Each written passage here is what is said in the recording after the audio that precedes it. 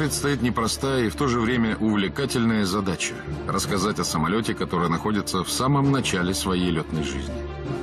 Заложенные в него характеристики только проходят проверку.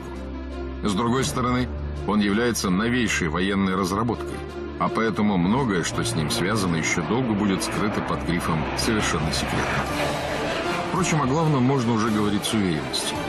Эта боевая машина будет определять облик российских военно-воздушных сил на десятилетия вперед.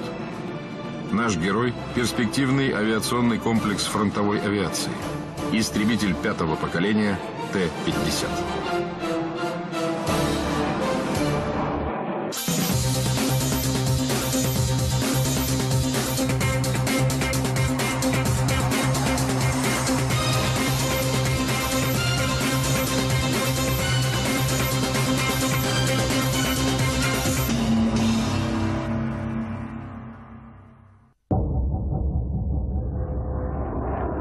70-е годы 20 -го века.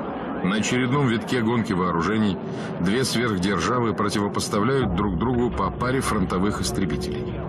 У США это были легкий F-16 и тяжелый F-15. У Советского Союза МиГ-29 и Су-27 соответственно. Названные самолеты относятся к четвертому поколению.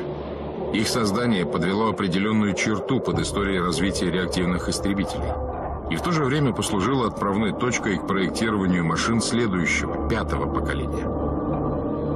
Работы по обе стороны океана начались практически одновременно, а именно в 1981 году.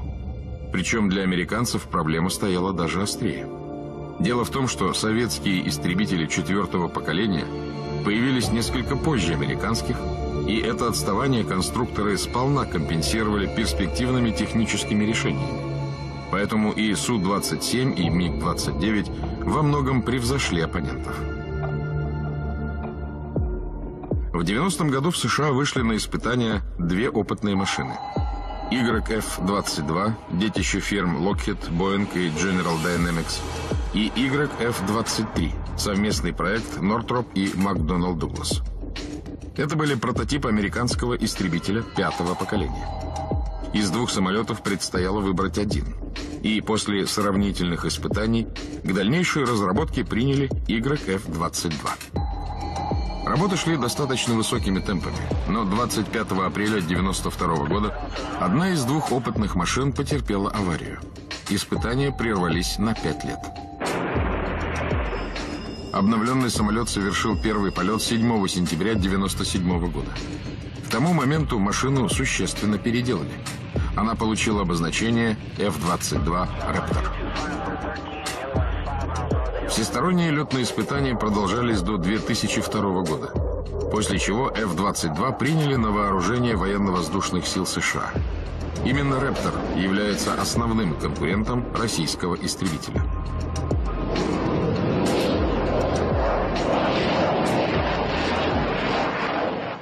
В 90-е годы в США начали разработку еще одного истребителя пятого поколения.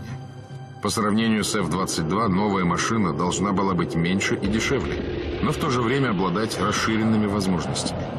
В качестве заказчика выступали как сами Соединенные Штаты, так и ближайшие их союзники. Претендентов опять было двое. Фирма Boeing представила X-32, а Lockheed Martin X-35 обращает на себя внимание несколько необычная форма машины от Боинга. Впрочем, летные данные не позволили ей выиграть конкурс, и выбор пал на разработку компании Lockheed Martin. В дальнейшем ее самолет получил обозначение F-35 Lightning II. Мы еще вернемся к американским истребителям пятого поколения, а пока посмотрим, как развивались события в Советском Союзе. Сразу отметим, что в нашей стране работы затянулись. Причины известны. Политический кризис, развал Союза, сокращение финансирования. Советские, а точнее уже российские прототипы истребителя пятого поколения вышли на летные испытания лишь в конце 90-х. Изначально головным разработчиком перспективного истребителя определили ОКБ имени Микояна. Опытный экспериментальный самолет построили в 94 году. Ему присвоили шифр 1.44. Для машины выбрали треугольное крыло и так называемую схему «утка». При такой компоновке горизонтальное оперение расположено не позади крыла, а перед ним. Подобный подход позволяет рассчитывать на получение более высоких несущих свойств и более высокого аэродинамического качества. Например, эту схему использовали при постройке европейских истребителей четвертого поколения «Гриппен» и «Тайфун». Схему «Утка» в ОКБ Микояна опробовали еще в 1944 году на экспериментальной машине МиГ-8. Спустя полвека ее реализовали и на самолете 144. В декабре 94-го летчик-испытатель Роман Таскаев выполнил на истребителе первые скоростные пробежки. Следом за этим этапом должны были последовать короткие подлеты, а потом и первый полет машины. Но из-за проблем с финансированием работы остановились. В конце 90-х в программу попробовали вдохнуть новую жизнь. В январе 99-го состоялась официальная презентация, а 29 февраля 2000 года истребитель поднялся в воздух. Пилотировал машину летчик-испытатель Владимир Горбунов.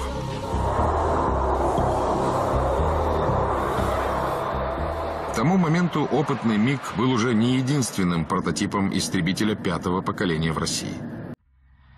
25 сентября 1997 года состоялся первый полет самолета С-37.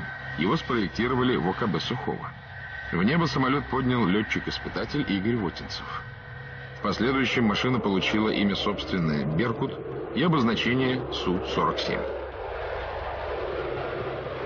Разработка «Беркута» началась также в 80-е годы. Причем ОКБ Сухого ориентировала свой проект в первую очередь на корабельное использование. Для самолета выбрали схему с обратной стреловидностью крыла. Теоретически это сулит определенные преимущества. Эксперименты в этом направлении начались еще в 40-е годы 20 -го века. Первыми были немцы. Перед нами опытный реактивный бомбардировщик «Юнкерс-287». А это уже советский экспериментальный планер ЛЛ-3, главным конструктором которого был Павел Цыбин. Первые испытания подобных машин выявили и первые проблемы. В частности, на больших скоростях под воздействием набегающего потока крыло начинало закручивать, что могло привести к его разрушению. Требовалось повысить прочность, но это вело к утяжелению конструкции. Вновь к теме крыла с обратной стреловидностью вернулись в 80-е годы. Главная причина – появление композиционных материалов, легких и в то же время достаточно прочных. Так в США в течение семи лет проходил испытание экспериментальный самолет X-29, который имел композитное крыло обратной стреловидности. А в нашей стране с таким крылом построили как раз Су-47. Впрочем, как показало время, решить все проблемы, присущие данной компоновке, не удалось ни в США, ни в России. И Су-47 постепенно перешел из разряда опытного истребителя пятого поколения в разряд экспериментального. Не стал российским истребителем пятого поколения и Микояновская машина. Летные испытания самолета 1.44 закончились, едва начавшись. Выполнили всего два полета. Машина перестала отвечать возросшим требованиям. Сказался вынужденный простой в середине 90-х. В результате в 2001 году решили сосредоточить усилия на создании принципиально иного авиационного комплекса. Напомним, что к началу 2000-х годов на вооружении ВВС России стояли два типа фронтовых истребителей. Тяжелый Су-27 и легкий МиГ-29. В идеале также требовалась подобная пара. Но экономические реалии вынудили разрабатывать одну машину. Она получила рабочее название «Перспективный авиационный комплекс фронтовой авиации», сокращенно ПАКФА. К тендеру привлекли компании МиГ и Сухой. Основными требованиями стали сверхманевренность, крейсерский полет на сверхзвуковой скорости без использования форсажного режима работы двигателя, малая радиолокационная заметность, повышенная эффективность поражения как воздушных, так и наземных целей. В апреле 2002 года головным разработчиком выбрали конструкторское бюро Сухого. Проект получил обозначение Т-50. Более привычное имя «Су» будет присвоено машине, когда она поступит на вооружение. Это обычная практика. Например, Су-27 до определенного момента также имел индекс Т, а именно Т-10. Главным конструктором по теме ПАКФА назначили Александра Давиденко, ведущим летчиком-испытателем Сергея Богдана. После э, времен перестройки и некого ну, забвения э, в авиации, которое наступило в тот период, после очень длительного перерыва, это, по-моему, больше 30 лет э, со времен создания э, самолета Су-27, впервые на фирме появился такой заказ и такой проект. Он был реализован в максимально сжатые сроки. Эскизный проект машины был представлен в 2004 году. Через пару лет подготовили и всю необходимую техническую документацию. В 2007 на авиазаводе в Комсомольске-на-Амуре приступили к сборке опытных экземпляров Т-50. Ну, пожалуй, самой большой сложностью, кроме реализации самой технической идеи, была реализация бесчертежной технологии. Начиная с самых первых образцов, самолеты строились именно по той документации, которая э, выпускалась в электронном виде. Вся история создания, все версии, которые были рассмотрены на этапе аван-проекта, эскизного проекта, технического проекта, рабочего проекта и на сегодняшний день вопросы, связанные с испытаниями, они все прослеживаются и находятся э, в электронном макете. Мы задались такой амбициозной целью, что сделать не просто самолет, не просто самолет пятого поколения, а сделать э, его по новой технологии проектирования. Были закуплены очень большое количество вычислительной техники. Проведено обучение и подготовка кадров. Но вообще я должен сказать, что это еще не все, потому что нужно научиться думать э, как бы совершенно по-другому. Это другая э, как бы среда, в которой э, создавался этот самолет. Сначала изготовили планер истребителя для статических испытаний на прочность. Параллельно с этим проверялись отдельные узлы и агрегаты машины.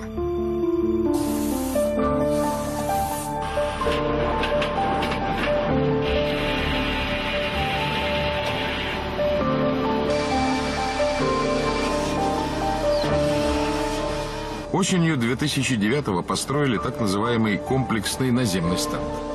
Фактически это был полноценный самолет, правда не предназначенный для полетов. В его задачи входила наземная отработка основных бортовых систем. Именно на этой машине в декабре 2009 были выполнены первые руления и пробежки по аэродрому. В январе 2010 из сборочного цеха выкатили и первый летный экземпляр истребителя. Сначала машину также опробовали на земле – рулежки, скоростные пробежки по взлетно-посадочной полосе, необходимо было убедиться в штатной работе различных систем.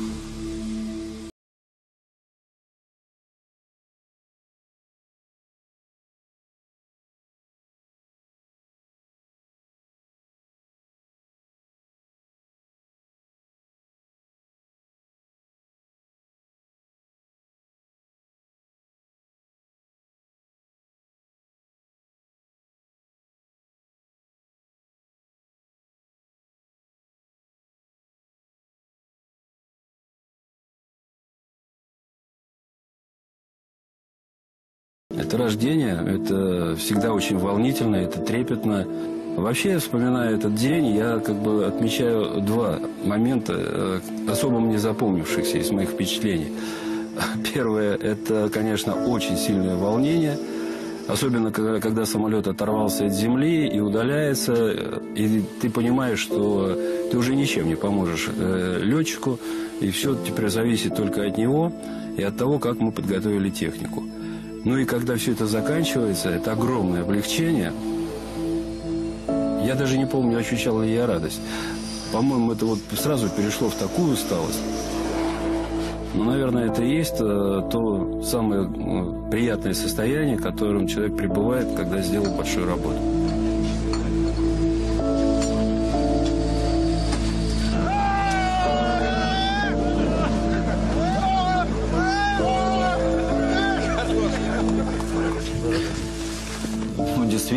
Счастье для летчика-испытателя, если довелось э, поднять новый самолет. Э, это, да, доверие, доверие, которое оказано, а, которое коллектив возложил, там, руководство.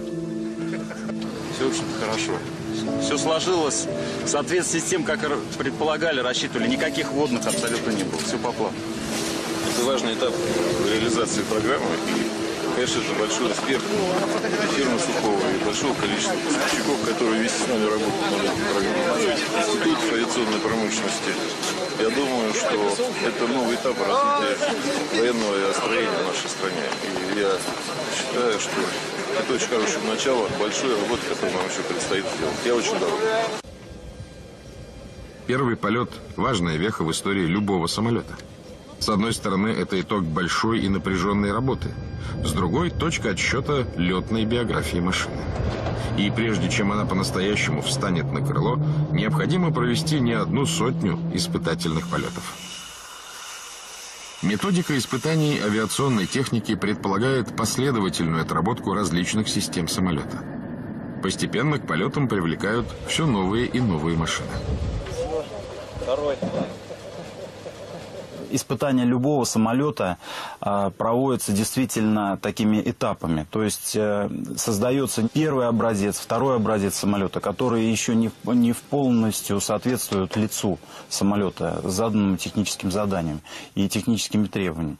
И вначале на, на первом этапе, в общем-то, проводятся испытания, а, связанные с аэродинамикой самолета, испытания на прочность, испытания на устойчивость, управляемость, в ходе испытаний выявляется, что нужно подработать, скорректировать какие-то законы.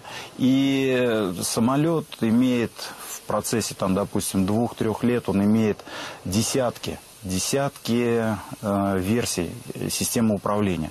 Но то же самое касается и прочностных режимов. Соответственно, и летно-технических характеристик. То есть э, аэродинамика, силовая установка, прочность. И дальше уже идет э, наращивание испытаний по комплексам бортового оборудования. Первый публичный показ истребителя состоялся в августе 2011 года. Местом мировой премьеры был выбран Международный авиакосмический салон «МАКС».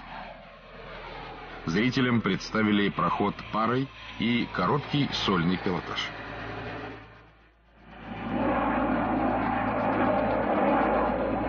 Помимо этого, Т-50 исполнял роль ведущего в строю с фронтовым бомбардировщиком Су-34 и многофункциональным истребителем Су-35. Исходя из этого, можно примерно определить габаритные размеры машины, поскольку точные данные появятся лишь по прошествии времени. Итак, по оценкам, длина самолета 20 метров, размах крыла 14 метров. Конечно, статус секретного самолета сказался. На статической стоянке он не представлялся, а к полетам его готовили в стороне от посторонних глаз. При буксировке машины закрывали специальными чехлами. Теперь познакомимся поближе с истребителями пятого поколения, и в частности 150. Для начала надо понимать, что современный боевой самолет – это целый авиационный комплекс.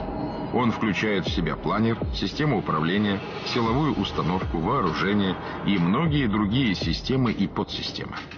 Собственно, определенные качественные скачки в развитии отдельных направлений и предопределяли переход от одного поколения истребителей к другому.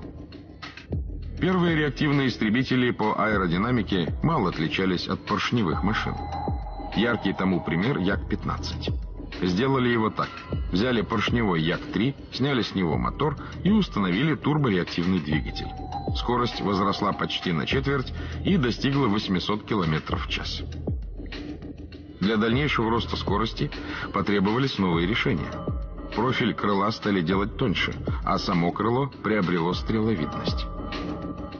По мере увеличения стреловидности скорость машин росла, но постепенно это привело к тому, что ухудшились маневренность и взлетно-посадочные характеристики. На истребителе третьего поколения МиГ-23 эту проблему частично решили. Машина имела крыло с изменяемой стреловидностью, что адаптировало ее к разным режимам полета. Но сама конструкция получилась тяжелой и сложной. На качественно ином уровне задачу решили на истребителях четвертого поколения. Многие из этих решений использованы и на пятом. Крыло с корневым наплывом и фюзеляж теперь образуют единый несущий корпус. Подобное решение позволило существенно продвинуться в вопросе повышения маневренных характеристик истребителей. Четвертым поколением связано еще одно новшество. На истребителях стали использовать электродистанционную систему управления, сокращенно СДУ. Условно говоря, летчик воздействует на органы управления не напрямую, а через бортовой вычислитель. Система анализирует параметры полета и вырабатывает соответствующие импульсы на отклонение органов управления. То есть на одно и то же движение ручки органы управления реагируют по-разному, в зависимости от скорости и высоты полета. Крыло Т-50 оборудовали отклоняемыми носками, элеронами и флаперонами. Помимо этого, поворотными выполнены передние части корневых наплывов. Это превращает их в дополнительный орган управления. Это, собственно, продолжение отклоняемого носка крыла.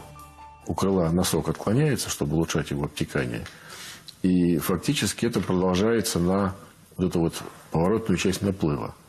Если его правильно отклонять по различным режимам полета, он позволяет обеспечить малое сопротивление ну и в то же время, если вот вспомнить те машины, которые имели передние горизонтальные оперения, Су-30 МКИ, например, то он не имеет некоторых недостатков этого переднего горизонтального оперения. Вертикальное оперение машины двухкилевое, цельноповоротное. Горизонтальное оперение представляет собой цельноповоротный стабилизатор. Количество органов, оно, в общем-то, не сильно изменилось. И завязывать в комплекс мы, в общем-то, уже достаточно давно научились, чтобы обеспечить управляемость на больших углах атаки, э, чтобы исключить, так сказать, вообще штопор как явление. И на этой машине, на Т-50, за счет того, что теперь вычислительная техника позволяет реализовывать более сложные законы управления, значит, мы как бы еще дальше, так сказать, свои возможности здесь продвигаем в зависимости от режима полета.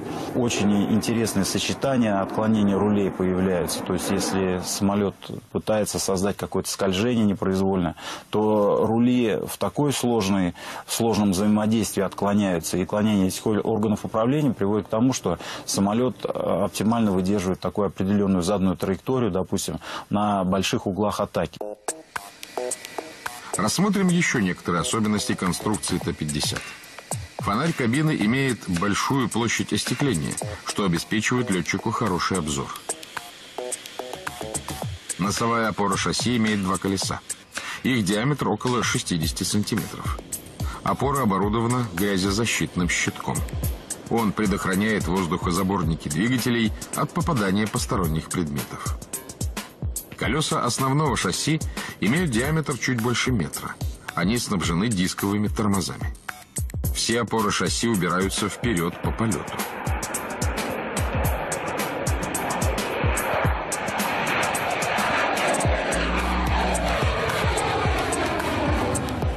Для уменьшения дистанции пробега используется тормозной двухкупольный парашют.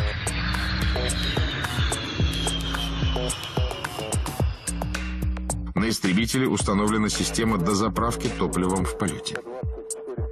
Методика проведения подобных испытаний предполагает сначала так называемое «сухое контактирование», то есть стыковка с заправочным конусом танкера выполняется без перекачки топлива.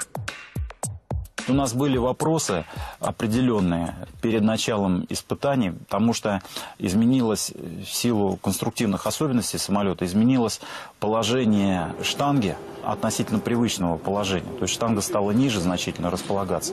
И отсюда был вопрос, а насколько это будет безопасно, потому что получается, что траектория движения конуса, она, в общем-то, так а, относительно приблизилась к, к фонарю. И в случае промаха, насколько вот это будет обеспечена безопасность. Но в целом так получилось, что траектория движения конуса стала более удобна, и безопасность не пострадала.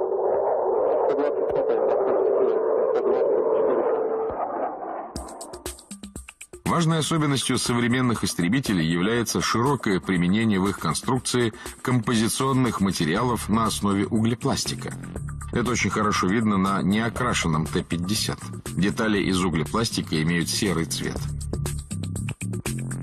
На сегодняшний день композиционные материалы они имеют преимущество перед э, многими другими материалами, в первую очередь металлическими, по показателю такому удельной прочности. То есть это прочность, отнесенная к удельному весу. Применение вот этого свойства позволяет э, на одинаковых деталях или равнопрочных деталях получать выигрыш по весу. Выигрыш в весе идет на показатели самолета. То есть он больше может взять топливо дальше лететь, э, или на борт можно поставить какое-то специальное оборудование, или выполнять дополнительные функции какие-то. Второй, я бы сказал, тоже важнейший аспект – это возможность использования этих материалов для создания элементов конструкции очень сложной формы. Это обход каких-то больших конструкций, типа двигателя.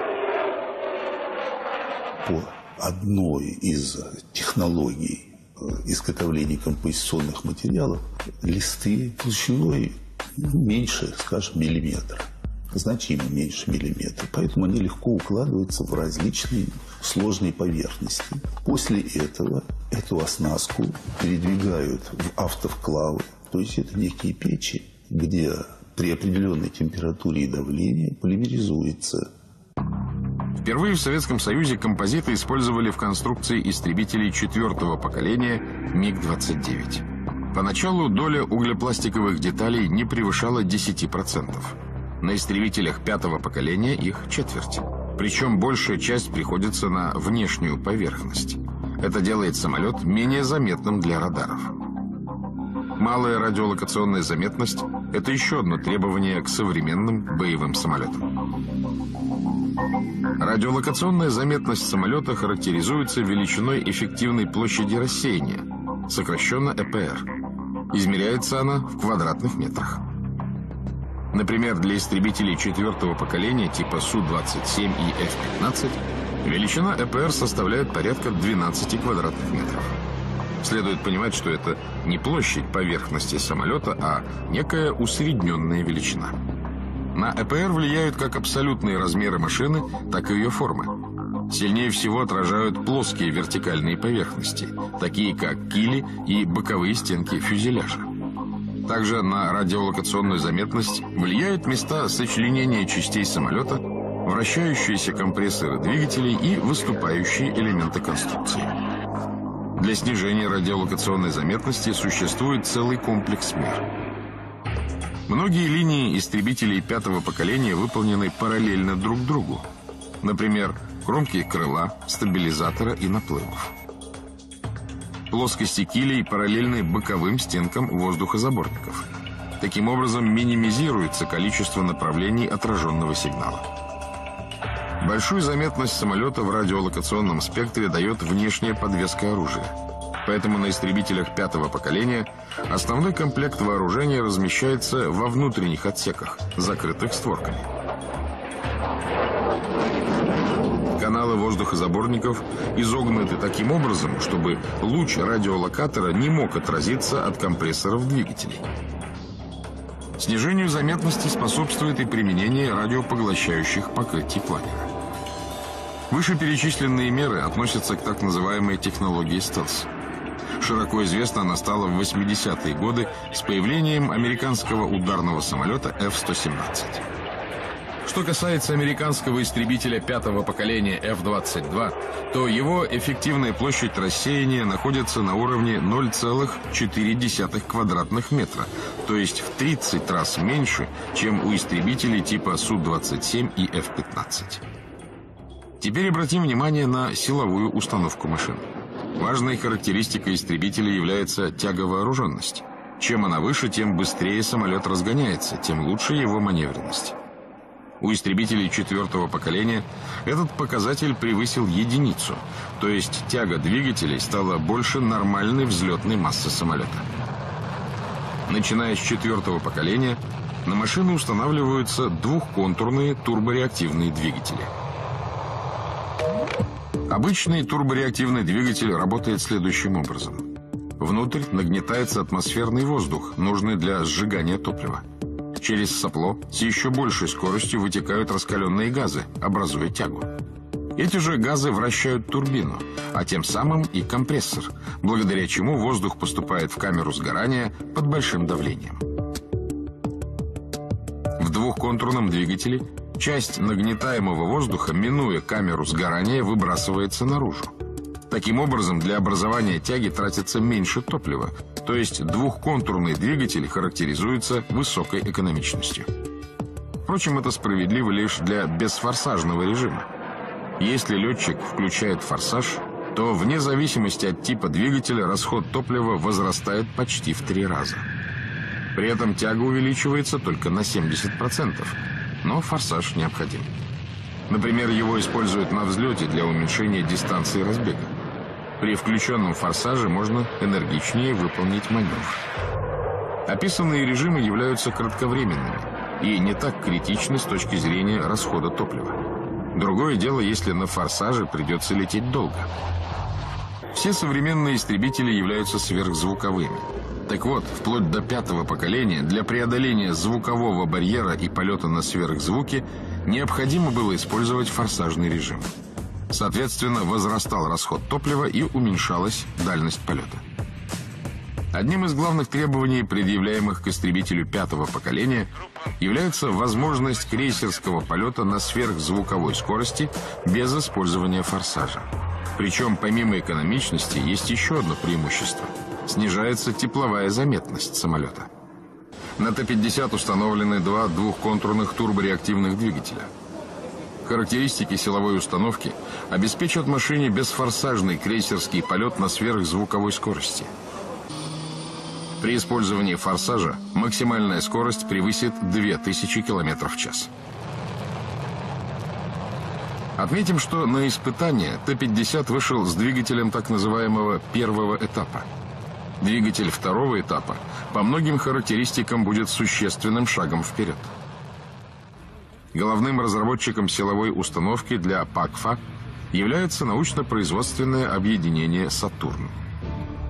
Современный двигатель – это тысячи деталей, сотни э, разного рода э, материалов – и самое главное, что надо понимать, что это все работает с огромной частотой вращения на огромных температурах. Ни одна конструкция вообще, в принципе, в понимании человечества не работает. Когда мы даже, я сравниваю с двигателем для ракет, которые вот людей в космос поднимают. Конечно, это интересно, да, но это по сравнению с, с двигателем авиационным, это предельно просто. Чем отличается двигатель нового поколения от двигателя предыдущего поколения? Безусловно, двигатель отличается основными э, характеристиками, такими как удельная тяга, удельный вес, удельный расход топлива. Ну, безусловно, э, и некоторыми другими, о которыми мы говорить можем, но с определенным «но». Это такими, как э, требования по малой заметности, конструкция должна быть э, э, проверена с одной стороны, с другой стороны, без новых инновационных решений э, невозможно конкурировать в 2020-2030. Двигатель, как правило, делается, во-первых, долго, а во-вторых, надолго. И такой двигатель мы хотим делать и делаем. То есть он будет практически лет на 50 по совершенству, процентов на 20 наверное, возможности по тяге и по температурам давать. Мы получили сверхвысокие характеристики. Ну, если их сравнивать с характеристиками узлов газотурбинного двигателя четвертого поколения, это э, превышение э, КПД более чем на 4, а где-то даже на ряд режимов на 8%. Фактически это революция. Летчик, безусловно, почувствует мощь и отличие от двигателя по тяге. Он, безусловно, почувствует, что с этим двигателем самолет будет э, более послушный и быстрее выполнять любые требования и пожелания летчика. Фактически двигатель второго этапа ПАКФА должен дать э, новую жизнь э, самолету Т-50. Еще одним признаком двигателей для современных истребителей является управление вектором тяги – с помощью поворотных сопел меняется направление реактивных струй. В России такие силовые установки впервые появились на машинах поколения 4+. Управление вектором тяги обеспечивает значительное улучшение маневренных характеристик и хорошую управляемость на малых скоростях, что повышает безопасность полета. Теперь посмотрим, как обстоят дела с силовой установкой у американского F-22. Целом идеология та же. Это два двухконтурных турбореактивных двигателя. Тяга каждого на форсаже 15,8 тонны. Есть и различия. На двигателях Рептора применены плоские сопла. Соответственно, управлять вектором тяги можно только в вертикальной плоскости. Преимущество такого сопла в другом. Истекающая из него плоская струя быстрее отдает тепло в окружающее пространство, что снижает инфракрасную заметность самолета. Испытания плоского сопла проводились и в нашей стране. Были получены хорошие практические результаты. Поэтому не исключено, что впоследствии плоские сопла будут установлены и на российский истребитель пятого поколения.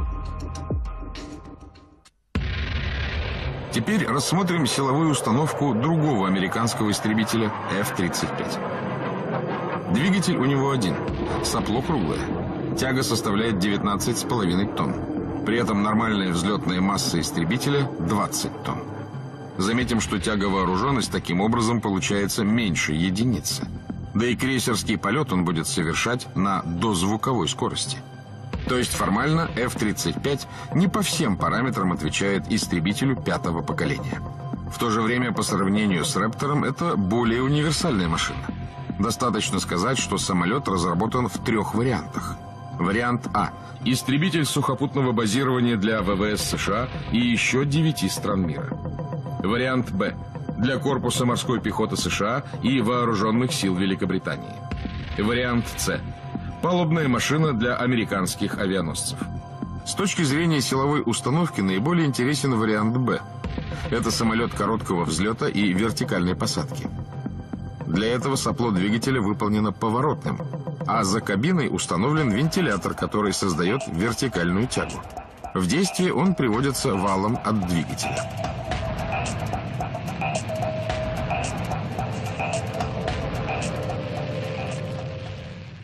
Итак, мы познакомились с конструкцией и силовой установкой истребителей пятого поколения.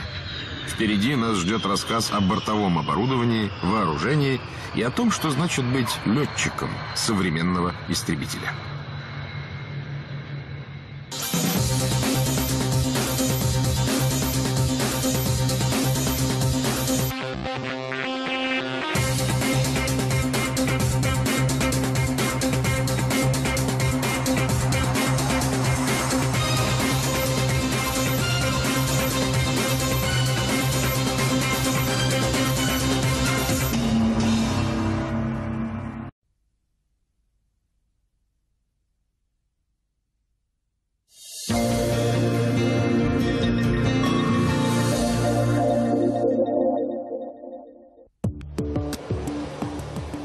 Перспективный авиационный комплекс фронтовой авиации, иначе говоря, российский истребитель пятого поколения Т-50, совершил первый полет 29 января 2010 года. Головным разработчиком является компания «Сухой». Итак, что мы уже знаем о машине? Самолет выполнен по нормальной аэродинамической схеме с плавным сопряжением крыла и фюзеляжа. Система электродистанционного управления обеспечивает ему высокую маневренность и управляемость. Тяговооруженность истребителя больше единицы. Крейсерский полет на сверхзвуке возможен без использования форсажного режима работы двигателя. В конструкции широко используются композиционные материалы. На машине проведен ряд мер, снижающих ее тепловую и радиолокационную заметность. Теперь рассмотрим истребитель не просто как самолет, а как боевой комплекс.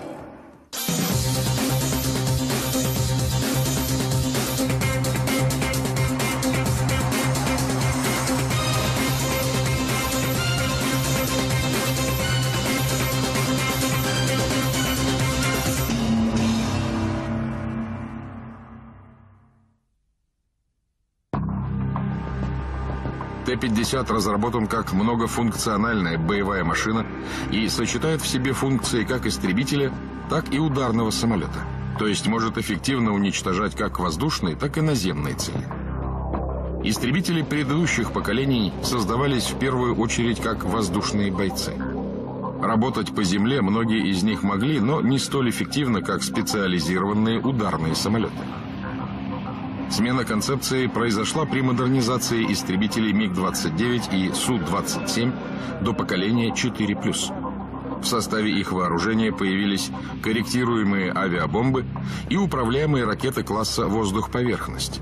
А главное, машины получили новую систему управления вооружением. Основа системы управления вооружением – бортовая радиолокационная станция. Головным разработчиком РЛС для Т-50 является НИИ приборостроения имени Тихомирова. Именно на этом предприятии в середине 50-х создали первый локатор для реактивных истребителей. Им оборудовали перехватчики МиГ-17. Характеристики системы позволяли обнаружить воздушную цель на расстоянии до 11 километров. Уже несколько лет девиз нашего института гласит «увидеть раньше значит победить». То есть наши локаторы должны, во-первых, иметь возможность обнаруживать цели раньше, чем обнаружит нас противник. С НИИ приборостроения связано важное достижение в мировой радиолокации. В 70-х годах в институте разработали систему управления вооружением «Заслон» для нового советского истребителя-перехватчика. Речь о МиГ-31, представители четвертого поколения реактивных машин. На самолете установили локатор с так называемой фазированной антенной решеткой. И сделали это впервые в мире. На локаторах предыдущих поколений обзор воздушного пространства производился механическим поворотом антенны. На новом локаторе сканирование происходит электронным способом. Это намного повысило быстродействие системы и позволило сопровождать и обстреливать сразу несколько целей. Эта работа была этапная, потому что впервые, в общем-то, в мировой практике на борту истребителя появлялась фазированная решетка, появлялась бортовая цифровая вычислительная система, в отличие от аналоговых предыдущих, ну и много еще разных новшеств. Поэтому опыт нашего института в создании радиолокационных систем с электронным сканированием ну, можно отсчитывать вот с 1968 года. Стоит отметить, что полотно антенны такого локатора может быть неподвижно. С другой стороны, если требуется увеличить зону сканирования, то его можно сделать и подвижным. Например, так выполнен локатор истребителя Су-35. Эта машина относится к поколению 4++ и по своим характеристикам близка к пятому. Локатор Су-35 способен сопровождать до 30 целей. Дальность обнаружения доходит до 400 километров. Что касается Т-50, то для истребителя разработали локатор с активной фазированной антенной решеткой, сокращенно АФАР. Если раньше на станцию устанавливался один большой передатчик, то теперь каждый приемопередающий модуль имеет свой собственный миниатюрный. Это повышает надежность системы и позволяет более гибко управлять сигналом.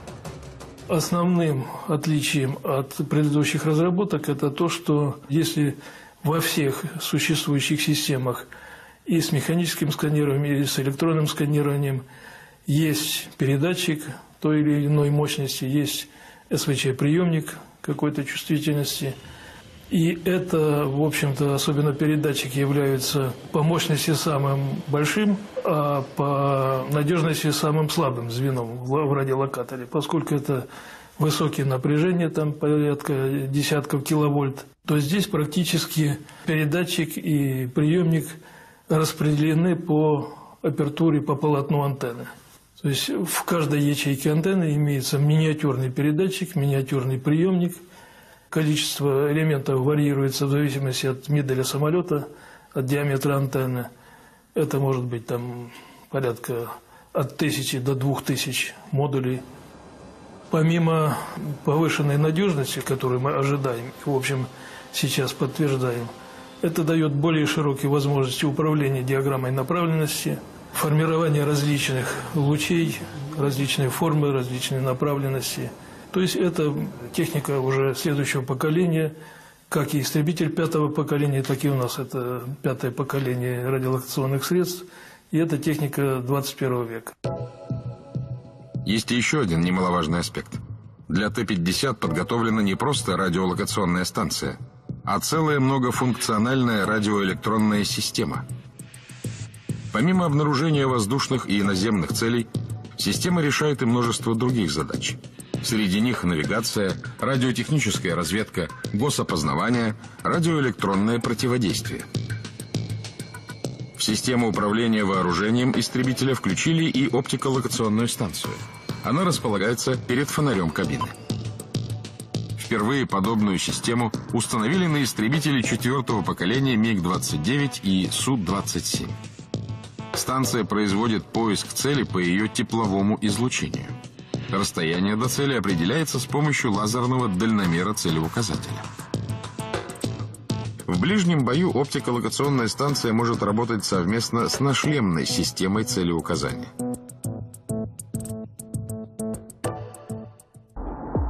Понятно, что эффективные комплексы обнаружения и наведения – это лишь полдела.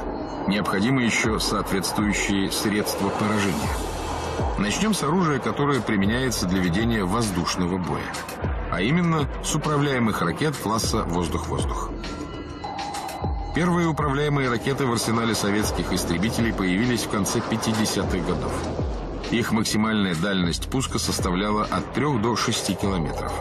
По сегодняшним меркам совсем немного. А тогда, на фоне стрелково-пушечного вооружения, это был настоящий прорыв. По мере того, как совершенствовались ракеты и методы их наведения, росла и максимальная дальность пуска. Со временем ракеты стали классифицировать по этому показателю. Появились ракеты малой, средней и большой дальности. Рассмотрим некоторые образцы управляемого оружия, которые входят в состав вооружения истребителей четвертого поколения и что предлагается для боевой машины пятого поколения. Для Су-27 и МиГ-29 была разработана ракета малой дальности Р-73. Ее головка самонаведения инфракрасная, другими словами, тепловая. Максимальная дальность пуска 30 километров. Такие ракеты применяются в том числе и для ведения ближнего боя. Поэтому повышенные требования предъявляются к их маневренности. Ракета Р-73 имеет двигатель с управляемым вектором тяги. Она может поражать цели, маневрирующие с перегрузкой до 12 единиц. При этом сама способна выдерживать 40-кратную перегрузку. Развитием Р-73 является ракета РВВ-МД, что, соответственно, и расшифровывается как ракета «воздух-воздух» малой дальности. Теперь обратим внимание на ракеты средней дальности. У четвертого поколения это Р-27. Она имеет два варианта. Первый – тепловой, второй – с полуактивной радиолокационной головкой наведения. Полуактивная головка наведения требует подсвета цели бортовым локатором самолета, поэтому не может быть реализован принцип «пустил и забыл».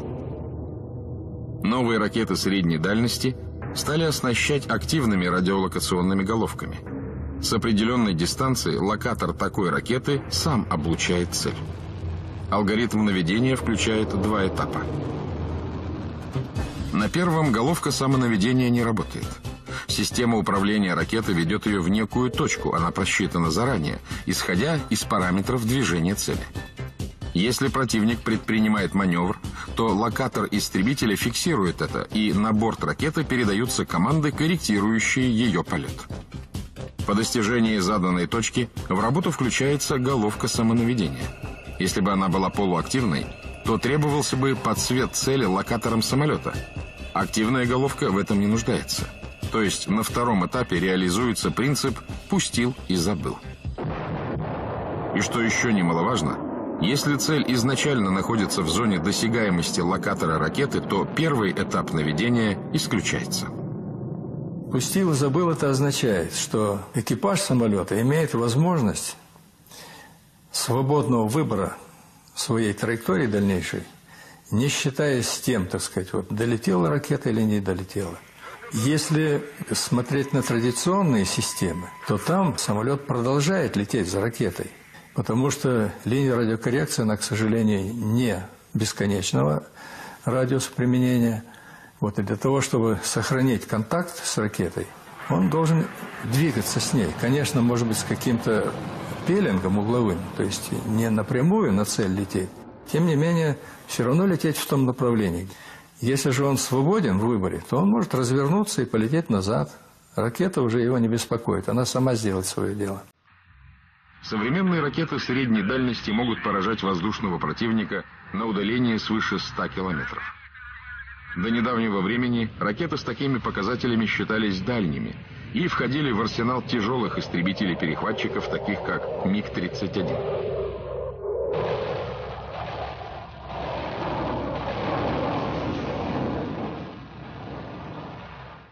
Что касается управляемого оружия класса «воздух-поверхность», то его номенклатура значительно шире. Это связано с большим типажом целей. Например, существует класс ракет, предназначенных для уничтожения наземных радиолокационных станций. Для наведения на радиолокатор не требуется его подсветки, поскольку он сам является источником мощного излучения, которое и фиксирует головка самонаведения. Раньше для дезориентации таких ракет Наземные радиолокаторы на короткое время отключали. Современные ракеты это уже не сбивает с толку. Они запоминают координаты станции, и к цели их ведет автопилот. Другой класс составляют противокорабельные ракеты. Корабельные соединения обычно имеют хорошую противовоздушную оборону, что делает опасным сближение самолетов с ними. Поэтому современные противокорабельные ракеты обладают достаточно большой дальностью пуска – от 70 до 260 километров, в зависимости от типа ракеты. Подлет ракет к целям происходит на малых и сверхмалых высотах. Так они менее уязвимы от средств ПВО флота. Другими целями для управляемого оружия класса воздух-поверхность могут быть мосты, аэродромы, штабы и другие важные объекты, в том числе хорошо укрепленные. И каждая цель требует своего подхода. Например, существуют ракеты с полуактивными лазерными головками самонаведения. Для подсвета цели используется лазерный излучатель. Такой излучатель диверсионная группа может установить в тылу противника вблизи важных объектов. Он активируется по сигналу с самолета. А есть ракеты без головки самонаведения – они летят к цели по заранее определенным координатам, используя спутниковую навигацию. Предприятия, разрабатывающие управляемое авиационное оружие, входят в корпорацию «Тактическое ракетное вооружение». Наша задача одна – обеспечить носитель современным авиационным оружием. Вот, поскольку э, Носитель это хорошо, но как боевой комплекс он рождается тогда, когда есть а, бортовое радиоэлектронное оборудование, которое обеспечивает целеуказания, и современное авиационное оружие, которое по существу а, этот носитель должен донести к цели. Задача принципиально достаточно сложная, потому что Т-50 он обладает еще и малой заметностью. А для того, чтобы была малая заметность, это необходимо разместить оружие внутри фюзеляжа. Вот это принципиально усложняет как бы и задачу применения оружия, потому что уже под крылом целеуказания в головку нельзя занести. То есть целеуказание уже во время полета ракет к целям. Вот над этим всем мы и работаем. Достаточно напряженно и очень интенсивно. Мы только за последние два года провели госиспытание 9 новых образцов. И примерно вот следующие 2-3 года должны закончить еще 14 таких темпов освоения нового оружия я не знаю в Советском Союзе. Поэтому это, конечно, для нас очень амбициозная, сложная задача. Но все руководители предприятий, трудовые коллективы, они нацелены на ее своевременное решение. Не отказались на российском истребителе пятого поколения и от пушки. Пушечное вооружение истребители применяют в ближнем воздушном бою и при атаке наземных целей. Вообще этот вопрос является дискуссионным и сейчас в среде разработчиков вот, авиационного оружия в целом. Дело в том, что вообще-то установка пушки, встроенной пушки, встроенной, я подчеркиваю, она достаточно дорого стоит по весу и по объему. Плюс боеприпасы. Если там их 150-200 штук, то вы можете понять, что это хороший, так сказать, вес на самолете. И, казалось бы, можно поставить туда там две-три ракеты ближнего радиуса действия, которые, кстати, стреляют намного дальше пушки. Но, говорит, есть но, как всегда. Во-первых, ракеты – это все-таки довольно сложное устройство, и вероятность попадания цели, она не является единицей. Поэтому сторонники употребления пушки Говорят, что выгоднее иметь вот это такое сравнительно простое, дешевое, экономичное в обслуживании оружие, чем, значит, израсходовать дорогие две ракеты и не достичь необходимого результата. Стрельба из пушки сопряжена с большими нагрузками на конструкцию самолета. Поэтому существует этап наземных испытаний, призванный оценить это воздействие. После стрельбы носовую часть фюзеляжа исследуют на появление микротрещин.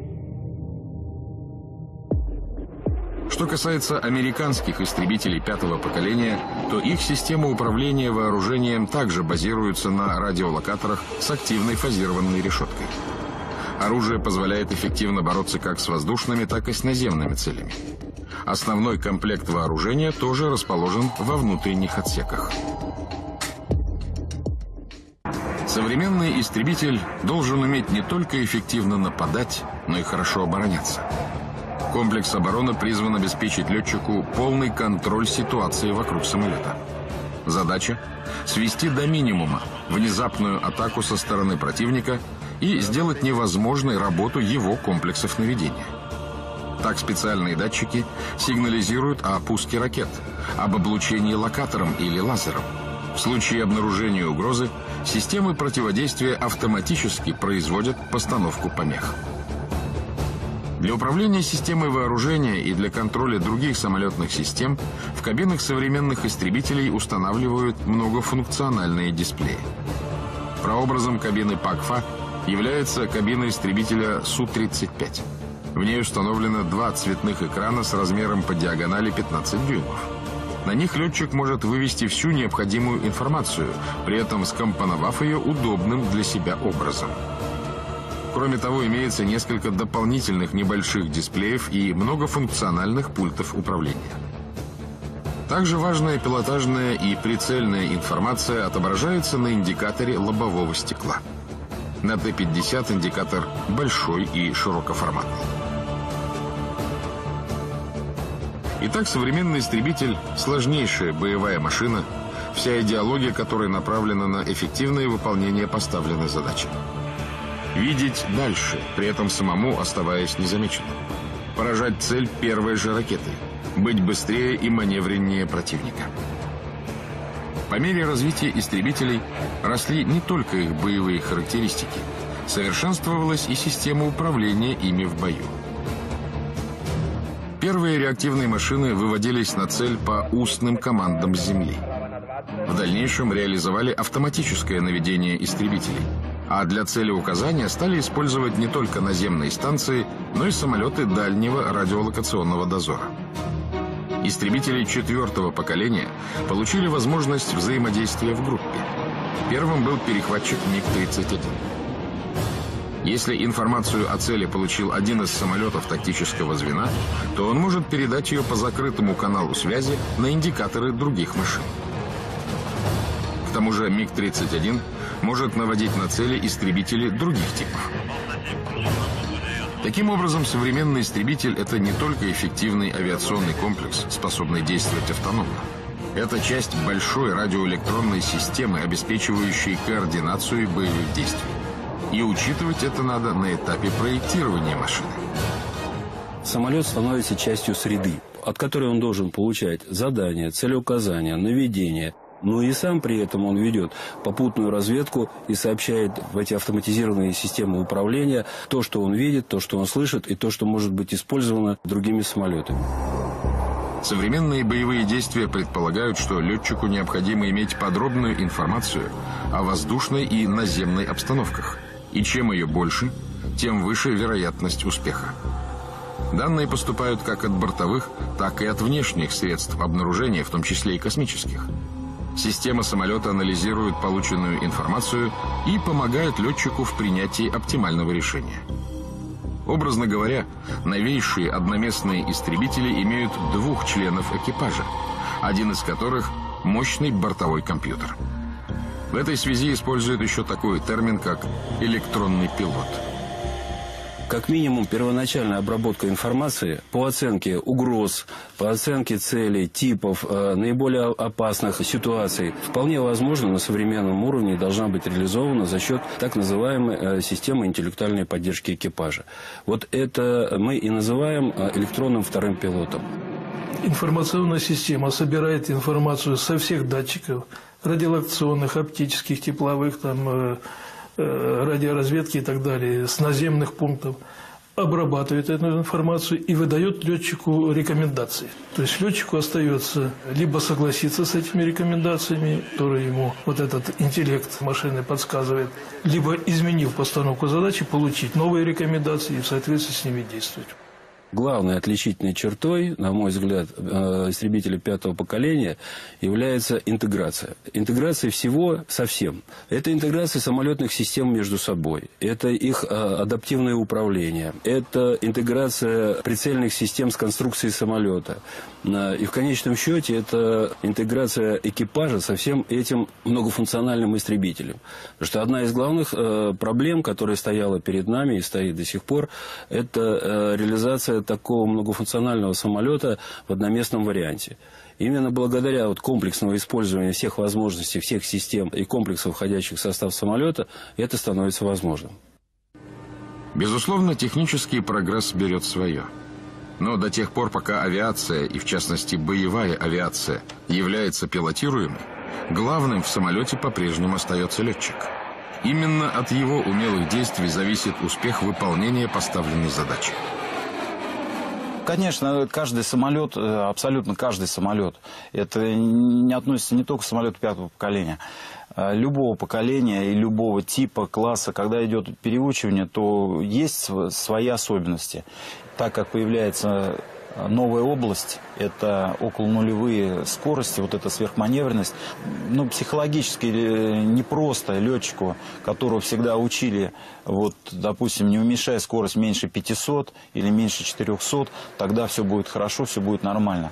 А когда вдруг скорость 200, 100 и 0, и совершенно другие ускорения там возникают. То есть это надо действительно человеку показать, обучить человека этому надо. Что касается области привычной пилотирования, то самолеты стали значительно более простые. Они многое прощают. То есть самолет уже сам не выйдет на какую-то перегрузку, он не превысит никаких ограничений. И основная еще сложность будет при освоении, конечно же, будет заключаться, от этого опять же никуда не денешься, а, с тем, что э, существенно возрастает многообразие режимов боевого применения. Для летчиков истребителя пятого поколения разработаны новые системы жизнеобеспечения и спасения, новая экипировка. Ведущим российским предприятием в этой области является научно-производственное предприятие «Звезда» имени академика Северина.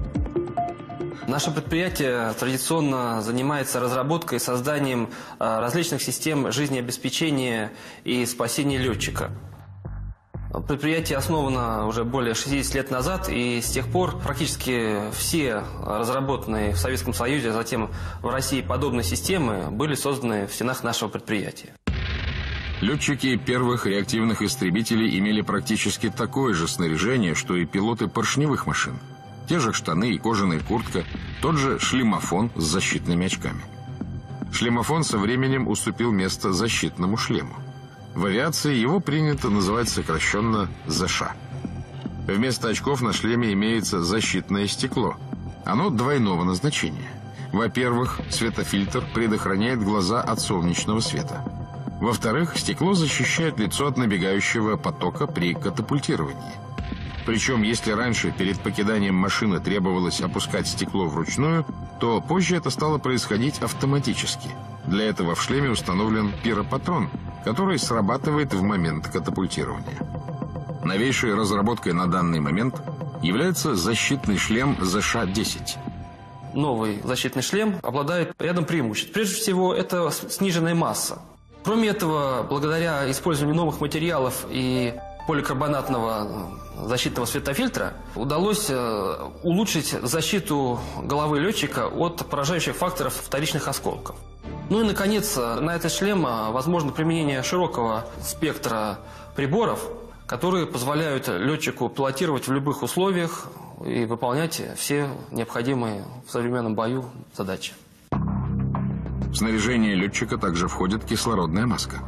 Дышать нормально, без специального оборудования, можно лишь до высоты 3-4 километров. До этой отметки в маску поступает атмосферный воздух. По мере набора высоты в него добавляется кислород, и чем выше, тем больше.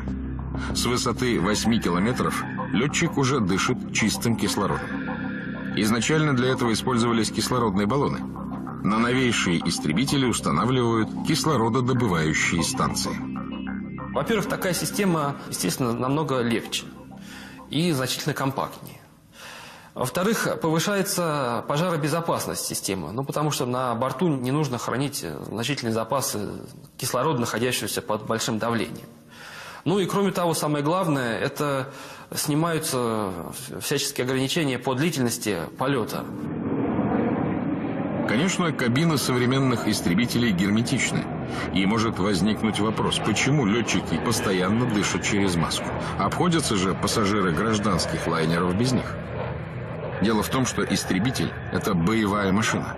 Повреждение кабины в ходе боя, вынужденное катапультирование. Времени надеть маску может просто не быть. В конце 50-х годов в экипировке летчика-истребителя появился высотно-компенсирующий костюм, или сокращенно ВКК.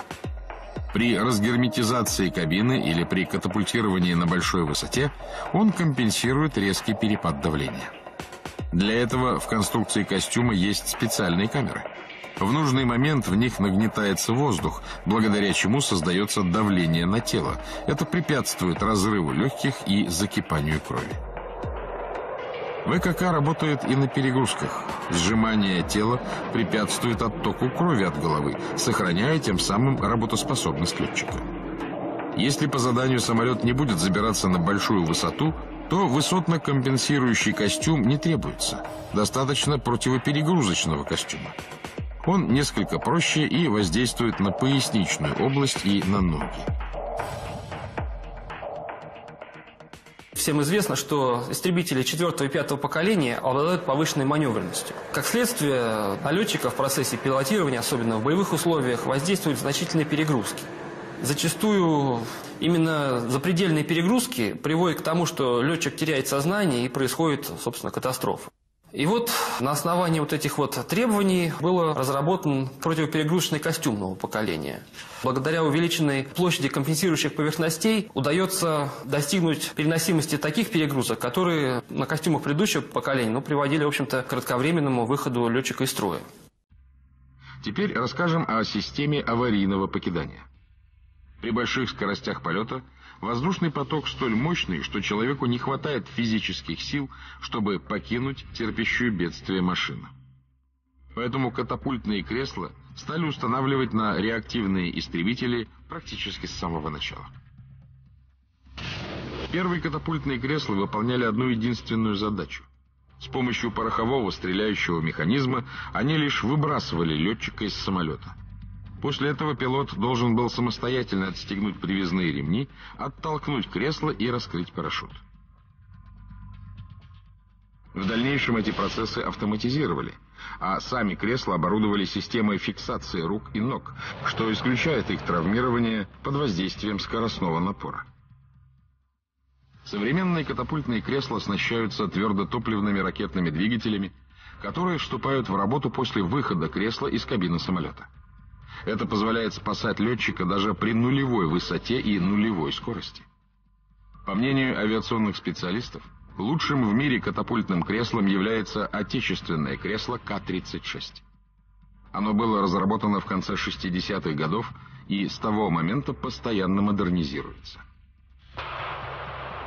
Кресло обеспечивает спасение на высотах от нуля до 25 тысяч метров. Аварийное покидание может происходить на скорости в два с половиной раза превышающей скорость звука. Самая совершенная модификация кресла К-36 подготовлена для российского истребителя пятого поколения.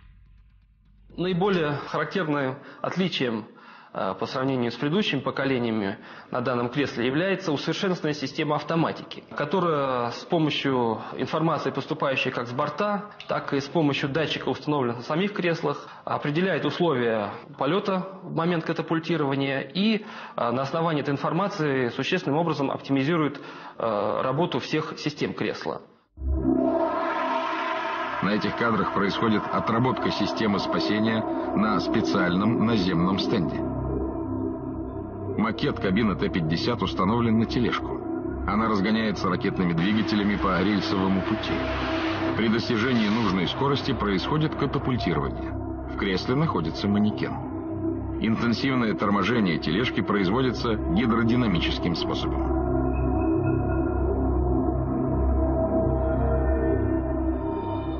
средства спасения входит, кроме э, кресла, еще система управления катапультированием и э, система открытия аварийного выхода. Только после того, как фонарь уйдет на безопасное расстояние, он разблокирует кресло. И тогда значит, происходит катапультирование. Для справки могу сказать, что вот на двухместных самолетах процесс катапультирования занимает меньше секунды. А на одноместных самолетах этот процесс, конечно, быстрее происходит. И самого большого, я считаю, успеха мы добились на Т-50. Фонарь сбрасывается за такое время, что у нас катапультирование происходит ну, чуть больше четверти секунды. Поступление российского истребителя пятого поколения в строевые части намечено на 2016 год тому моменту машина должна пройти государственные испытания и подтвердить заложенные в нее качества. К весне 2013 года на заводе в Комсомольске-на-Амуре построено 4 летных экземпляра. На них выполнено свыше 200 полетов. Две первые машины используются главным образом для оценки летных и прочностных характеристик. На третий самолет установили радиолокационную станцию – ее первые же испытания на борту подтвердили высокие данные на всех режимах работы. Четвертый летный экземпляр поднялся в воздух 12 декабря 2012 года. С этой машиной связан еще один важный этап. До этого построенные в Комсомольске на Амуре самолеты перевозились на испытательную базу в подмосковный Жуковский на борту транспортных Ан-124. Четвертый Т-50 перелетел с Дальнего Востока на другой конец страны своим ходом. Выполнив три промежуточных посадки, он покрыл расстояние около 7 тысяч километров. Все системы и оборудование машины работали без замечаний.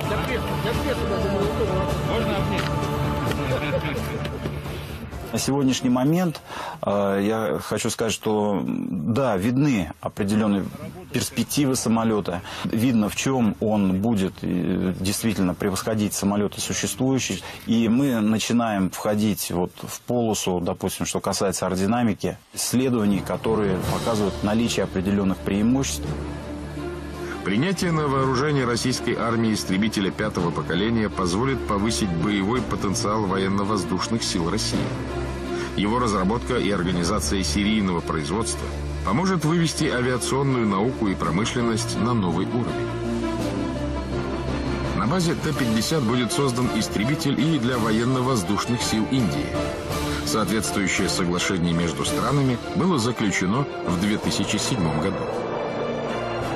Важно отметить, что эта машина пока единственный боевой самолет, полностью разработанный российской, а не советской авиапромышленностью. В то же время следует понимать, что создание машины вряд ли стало бы возможным без опыта, накопленного в советское время.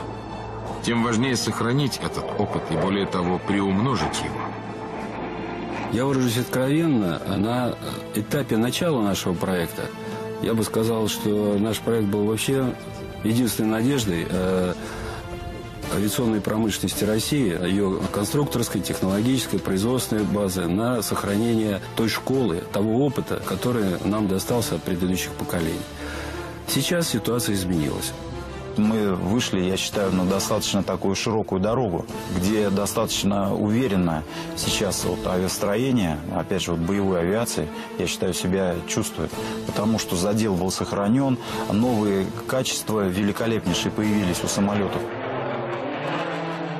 У каждого специалиста, у каждого человека есть цель в жизни. Наше предназначение – создавать самолет.